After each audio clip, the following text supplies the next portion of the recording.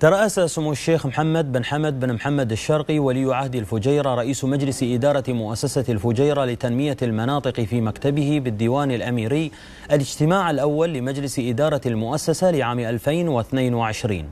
واطلع سمو ولي عهد الفجيرة على تقرير أعمال المؤسسة ونتائجها خلال عام 2021 ومشاريعها الإنشائية والإسكانية والمجتمعية التي تعمل عليها.